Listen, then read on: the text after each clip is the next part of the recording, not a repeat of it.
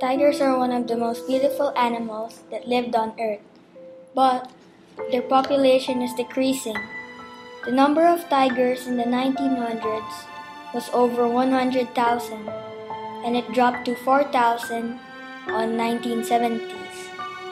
Today, there are only five remaining subspecies of tigers that are estimated a number of 4,600 and 7,700.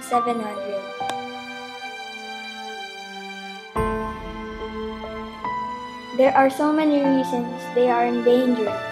Almost all of the reasons are because of man. We have pushed ourselves to the limit. We are taking more than what we need from nature, and we aren't paying nature back. People are killing too many tigers.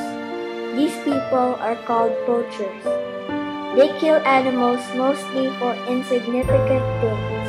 For example, they kill tigers for their unusual fur, some for a kind of Chinese medicine.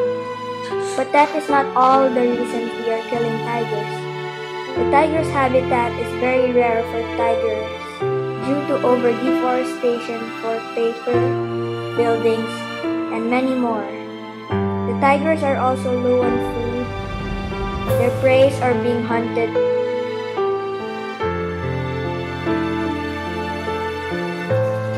The tigers are struggling to stay alive. Tigers are disappearing, which means more living things are becoming extinct. Our ecosystem is dying out because of our population. Because of that, more safe or hunting-free zones for animals are made. The tigers are dying and we need to help them. It's not over yet. Organizations around the world are trying their best to help the tigers, like Tigers in Crisis, Big Cat Rescue, and WWF. We can donate money to these organizations.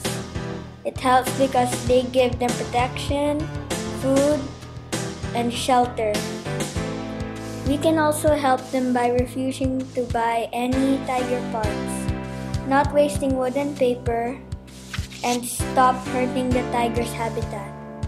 We should start becoming aware of the future of the tigers. Protect them like who we are, humans. Prevent them from extinction.